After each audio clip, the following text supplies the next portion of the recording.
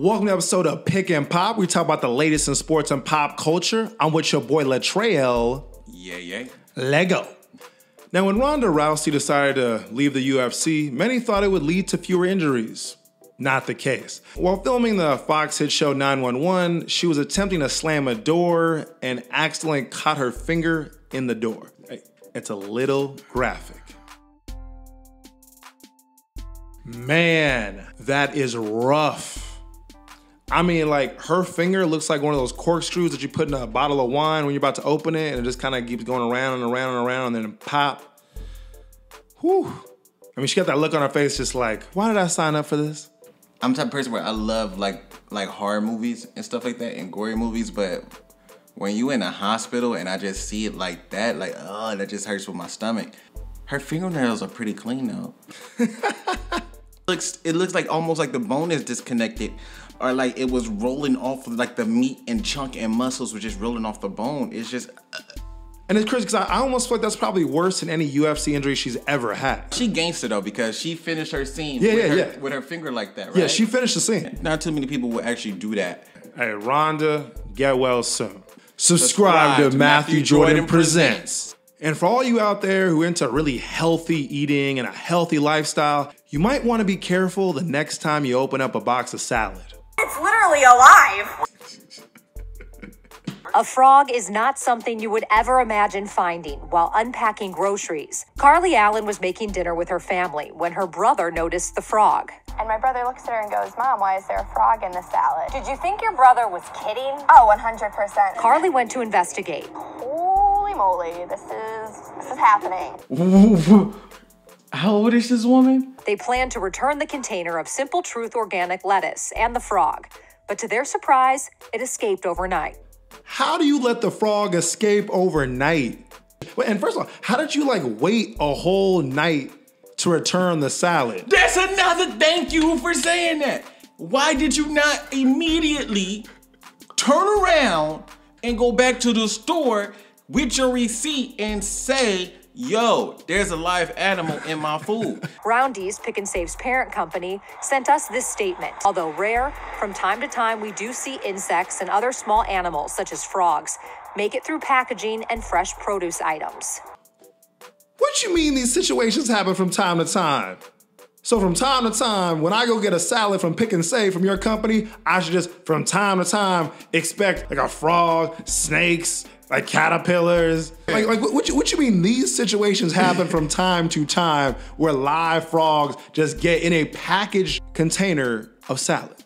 and the fact they said sometimes frogs, this is the first time I've ever heard of a frog. getting Whoa, something. whoa, no, no, no, no. When they start saying stuff like, oh, and sometimes frogs, this ain't the first time this has happened, okay? Yeah. Like, y'all got a problem. I don't know what's going on over there. There's gotta be a better way than to have live frogs up in the salad. That's all. Still hard for Carly to think about eating salad anytime soon.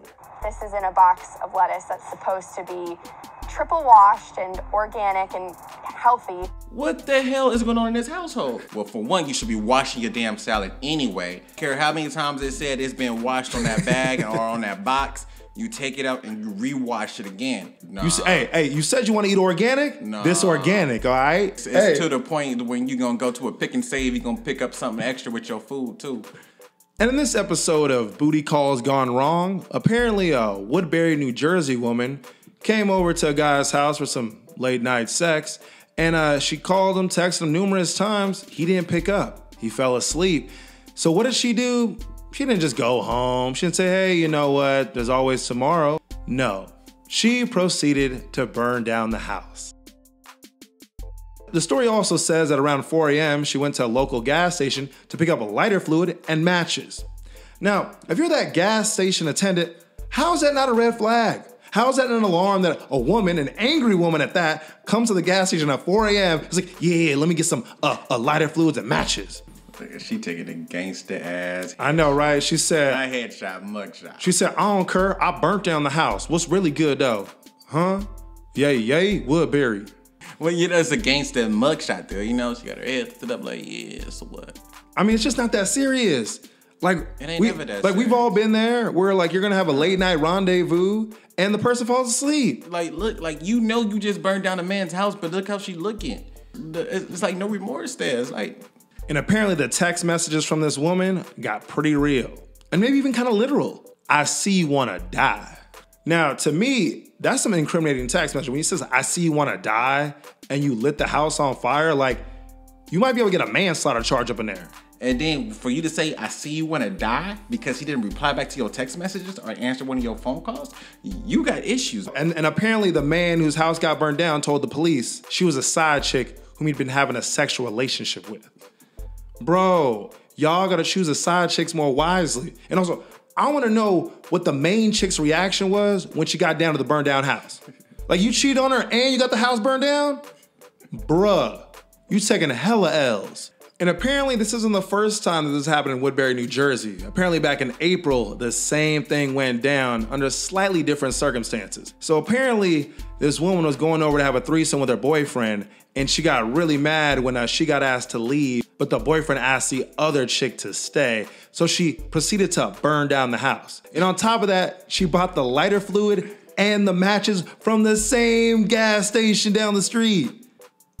Bro, that guy needs to get fired. For real. He needs to be fired for real. Like that happened twice on your watch, my dude. And within within the same six month period. So Yes. that means you in the same quarter of your year. And you st- you did it twice. the guys are to blame for some of this too.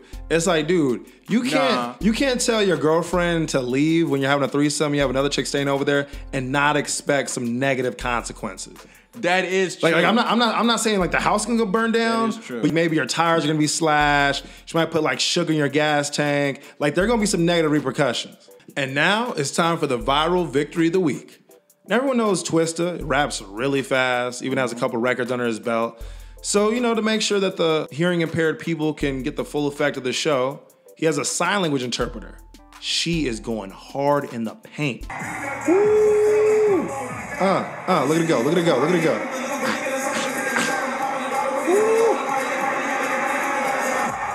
Crowd, crowd's getting hyped. It. Get it.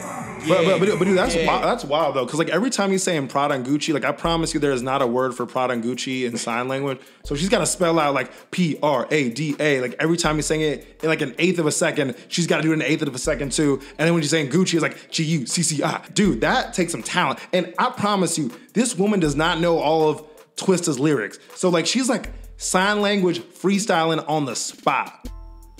Think about it. Like, do we know what he says?